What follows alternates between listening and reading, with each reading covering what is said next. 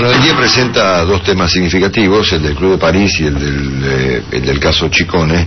Y eh, bueno, voy a referirme brevemente a ambos temas, siendo que tuve la buena noche, me, me enteré de ambos asuntos porque me los avisaron antes de que se publicaran. Fue el propio gobernador Scioli que me contó el detalles de lo que se iba a anunciar esta madrugada. Y un amigo mío muy, muy, muy, muy importante me contó que hasta la Corte poco menos está preocupada por el tema del caso Chicone. Así que ahí vamos. Em, eh, hubo varios eh, momentos, varios, digamos, puntos de inflexión donde Argentina pudo haber comenzado a revertir esta crisis económica que arrancó, para poner una fecha, digamos, en noviembre del 2011, cuando la presidenta, luego de ganar la elección de presidencial de, aquel momento, resolvió eh, interpretar que lo que estaba pasando en la Argentina era una corrida contra el gobierno y dictó el control de cambio que derivó después en el CEPO y que derivó en un conjunto de disparates que ustedes ya conocen, no hace falta que yo los, los vuelva a repetir. Ustedes recuerden que la presidenta hereda un estado de cosas económicas más o menos presentable en 2007 y que en 2008, como consecuencia del divague que fue, visto en perspectiva de la pelea con el campo, el deterioro económico comenzó a, presentarse, ahí empezó a subir la inflación, eh, empezó a emitirse plata, se tomó el Banco Central, se empezaron a truchar los índices, bueno, pasó todo lo que pasó, y eso tenía como contracara una situación de salida de capitales de Argentina, ¿no es cierto? Cuando el presidente gana la elección eh, en 2011, eh, interpretó que esa fuga de capitales era bueno, no una consecuencia de los desmanejos económicos del gobierno, sino un acto político de algún par de banqueros contra ella. Entonces mandó ahí, recuerdan ustedes, se acuerdan de los perros, a la calle San Martín, que olían a la gente. A partir de ese momento, eh, claro, semejante disparate fue generando otro disparate y así llegamos a esta instancia en donde la Argentina finalmente se paralizó en materia económica, eh, nos quedamos sin dólares, después se dictó el CEPO en el medio, como consecuencia de que obviamente cada vez, cada medida era peor que la otra. Total que en este, en este devenir, digamos, 2011-2014, de, de, de, de en- en- enterrarse hasta acá en materia económica, hubo, es cierto, varios momentos en donde se presentaron oportunidades para salirse del lío. ¿eh? Por ejemplo, una fue el anuncio del acuerdo con Repsol, ¿no es cierto? Que fue hace unos meses, bueno, ya ya se terminó el tema, parecía que ciertamente cambiaba todo el rumbo económico argentino y todo el enfoque del gobierno sobre los problemas. Hubo otro momento un poco anterior a ese cuando se cambió el equipo de gobierno, cuando llegan Kicillof, Fábrega y Capitanich. Dije, bueno, ahora sí, hay un equipo económico más o menos de gente coherente, un jefe de gabinete nuevo, un presidente del Banco Central eh, em, em, razonable, bueno, y, y todo eso no, no pasó, esas oportunidades se fueron desperdiciando. Inclusive, este, ni hablar de lo que hoy mismo cuenta el diario Wall Street Journal, que yo nunca vi un título igual, Willy. ¿eh? El dinero regresa a, los, a caudales, pone, ¿eh? perdón, a raudales, a los bonos, bolsas y monedas de los países emergentes, ¿no es cierto? porque las tasas de interés en Claro. Estados Unidos no suben. Como consecuencia de que en Estados Unidos, en Europa y en Japón las tasas son muy bajas, dice el Wall Street Journal, llueve la guita sobre países como por ejemplo Sudáfrica, ¿eh? Los que vayan a Brasil Claro. para el Mundial van a verlo. Brasil o otros países emergentes, donde obviamente se consiguen recursos con mucha facilidad para hacer de todo como consecuencia de esta lluvia de dólares.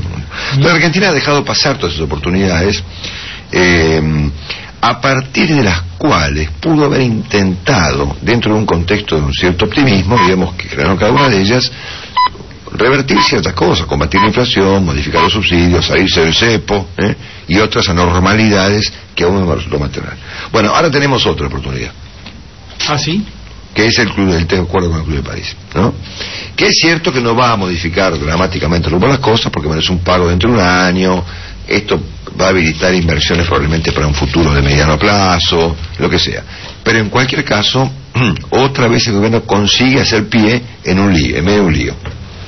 La cosa venía complicada, ayer mismo había otra vez rumores que se iba a fábrica, que el dólar otra vez a 12, bueno, total que anoche, este, yo me lo enteré porque me lo contó Scioli, otra gente se enteró porque se enteró, total que se anunció el acuerdo con el Club de París y ha sido ratificado esta mañana oficialmente por ambas partes. Prendamos una vela ahora, otra vez, para que esta vuelta no desperdicien de vuelta la oportunidad y tenemos un lío de vuelta dentro de 10 días, o dentro de 20 o dentro de un mes. Porque otra vez esto recrea, como subrayó Scioli, y como mucha gente va a coincidir, inclusive la oposición, que esto genera otra vez una circunstancia para aprovechar Entonces, si esto es un empujón, bueno, aprovechenlo, ¿no es cierto?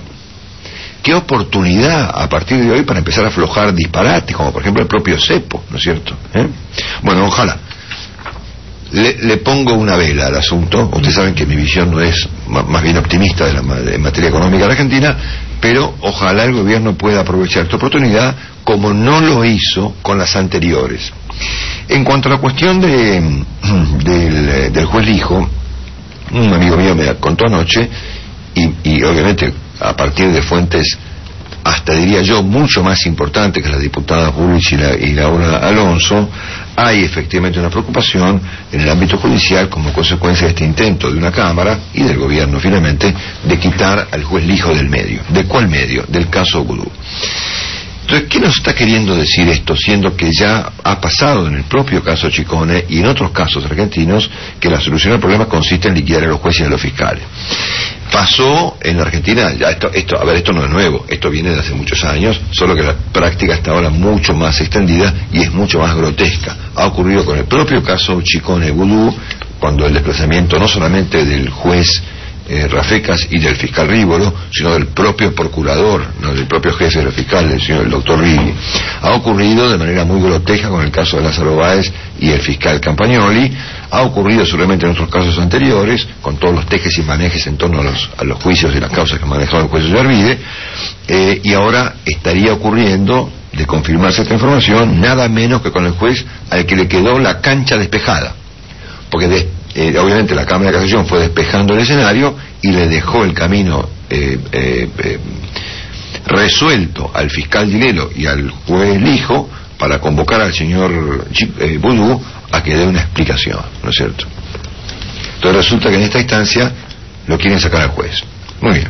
Entonces, ¿qué nos está queriendo, qué nos dice esta noticia de confirmarse? Que el problema ya excede a Budú.